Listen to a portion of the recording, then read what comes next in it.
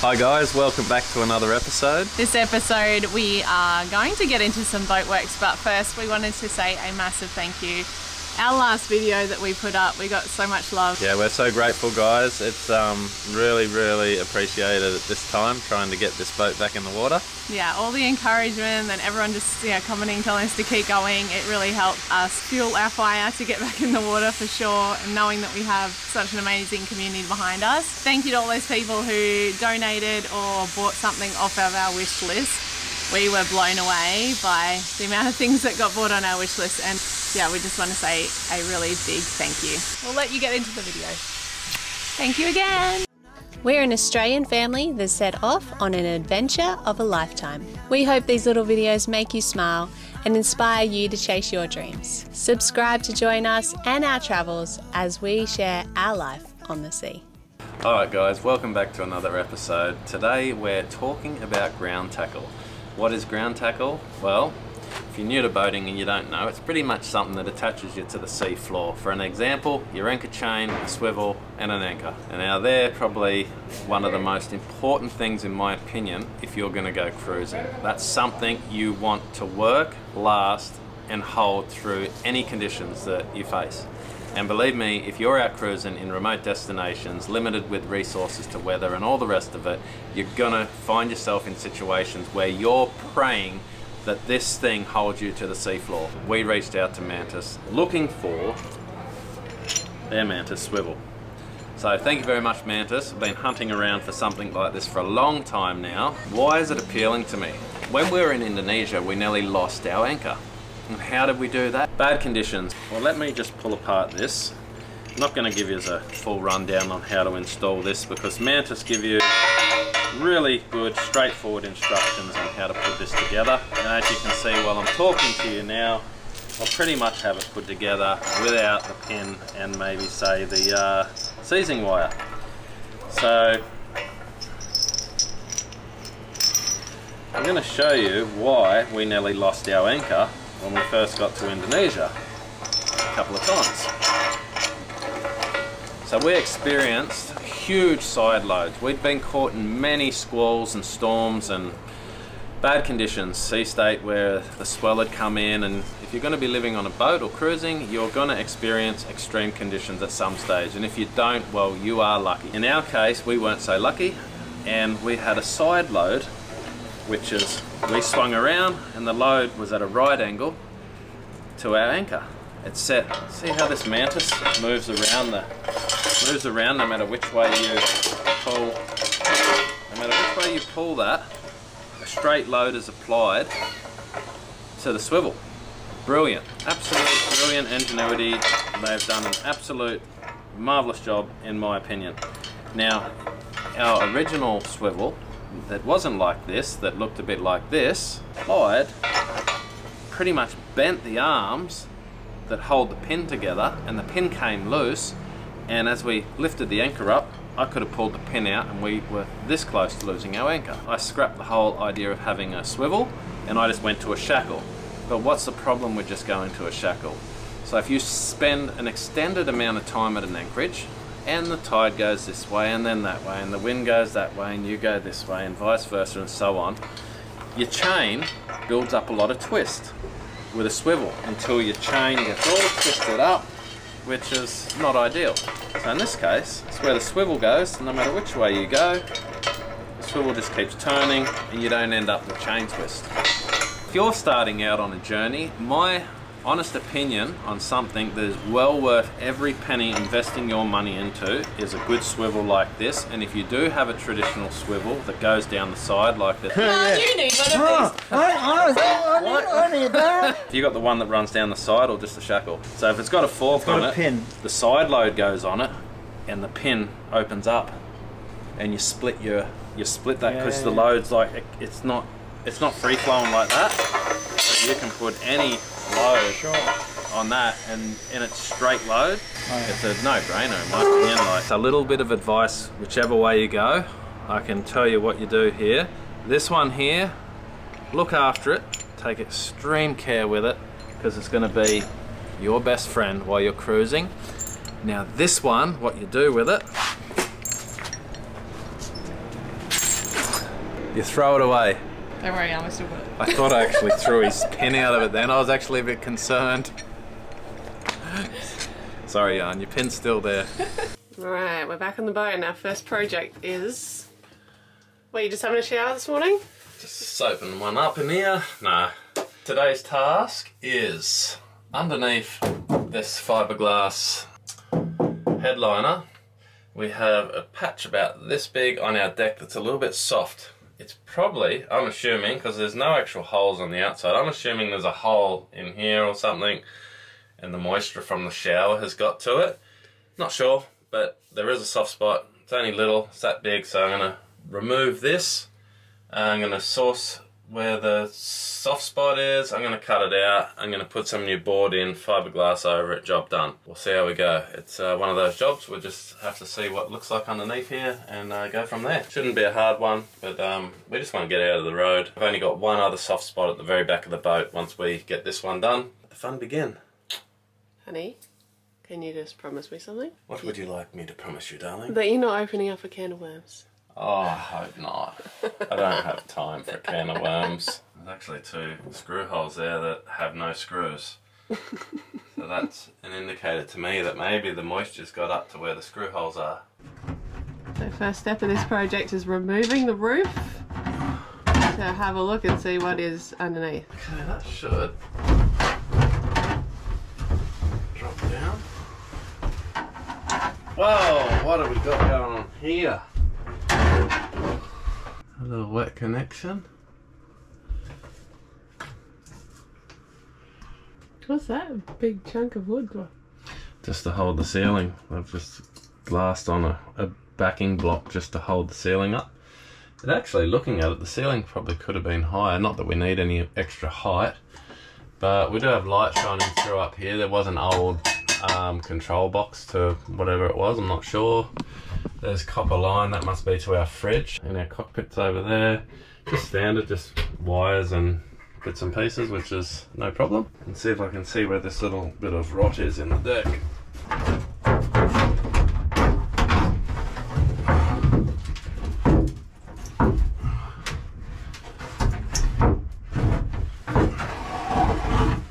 And it's right where the screw hole was, I think.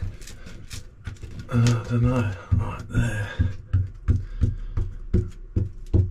I'll take some measurements up top first and and double check, but as far as I can see, it's right there. It's not big, it's just a little one there. I'm gonna open that up and uh, investigate. Start with a small hole, and then we'll remove the rot, and then we just keep going back until we hit solid um, timber. It is a painful job, but it is good because I've actually got access here. We removed the shower skin on the on the the ceiling liner here, and it's it's like right there. So it's only a little spot like that. So that spot could have been under anything else, under cabinetry and that, and that's when it becomes a problem.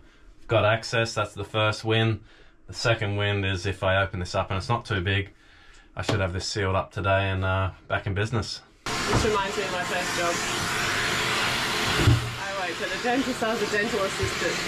And while Lee was cutting that, I had the suction and it reminded me when I went to the dentist. Alright, we need a little prior, a little flathead screwdriver, chisel.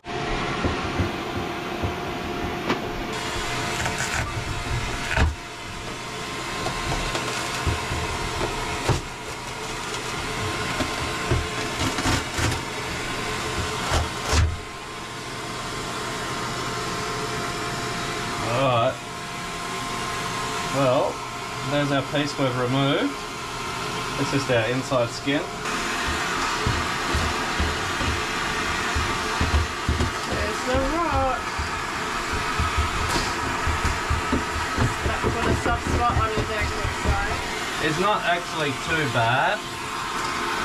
Pretty Um, good. We do that wet? We haven't really used the bathroom much lately though. The shower. You can see this is, it's not really bad, well that's a little bit there. It's soft.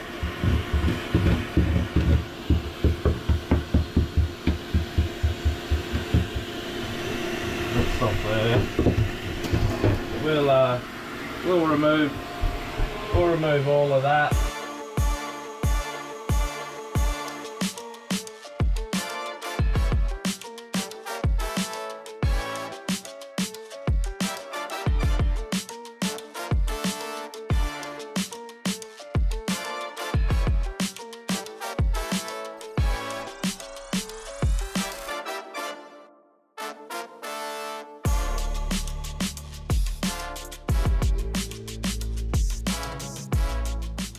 There's our deck up on top.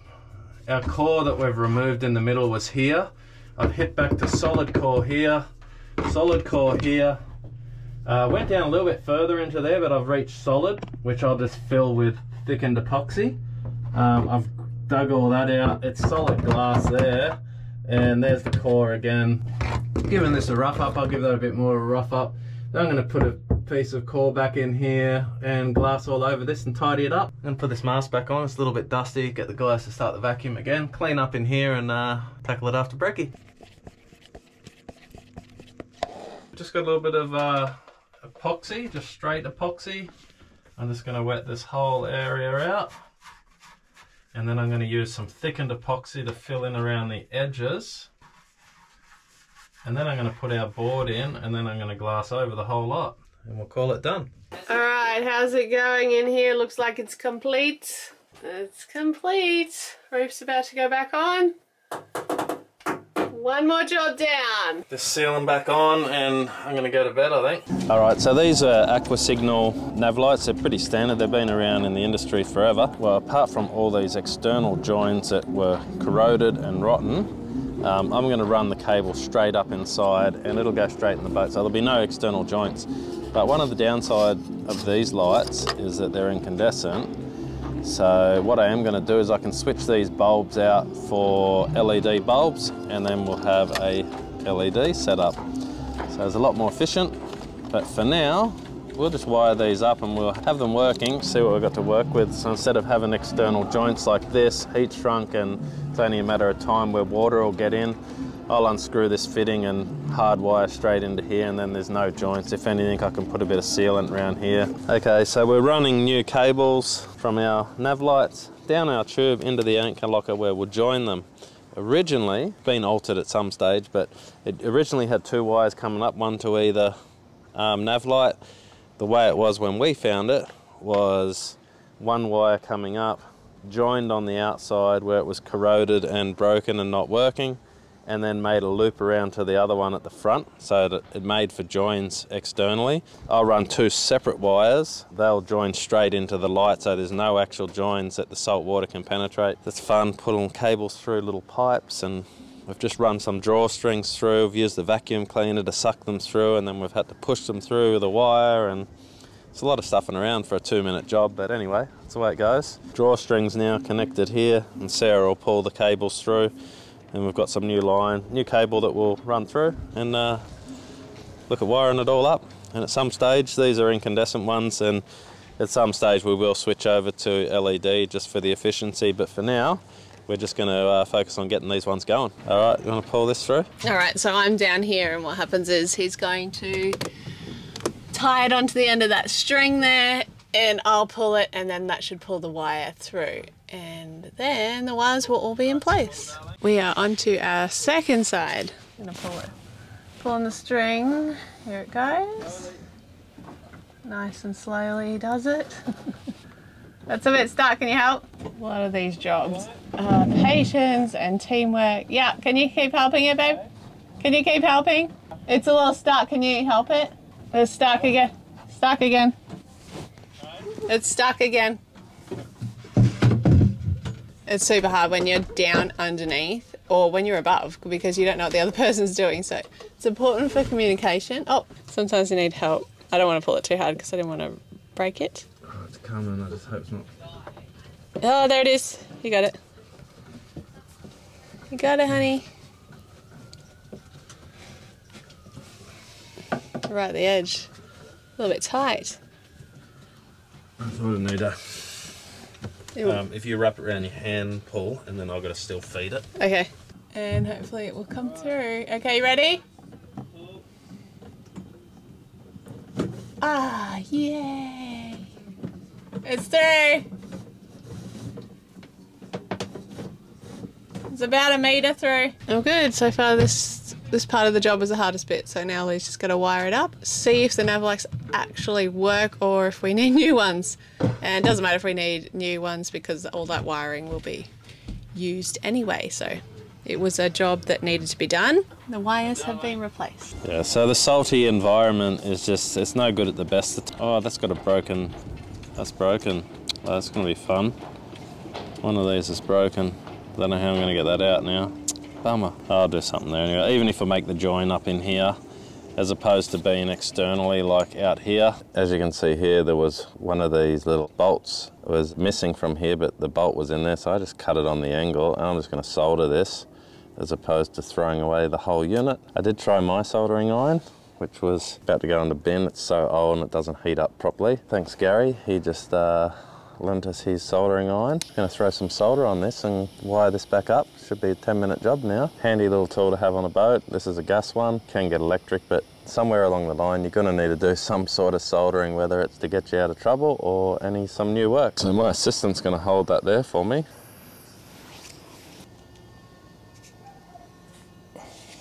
There we go. Soldered together. So now we have the wire going straight into here and it runs through our tube right down to where we'll connect inside the boat. I'll put a little bit of sealant around that at some stage when I've got the sealant open. And um, there's no external joints that were originally here. So that should, should last a little bit longer. Clip that back on, call it done. Job is done. Now Lee will just have to wire, join these wires onto wherever it is so that they have power. Hi guys, we came to the end of the video and as usual we forgot to film the end, the finished product.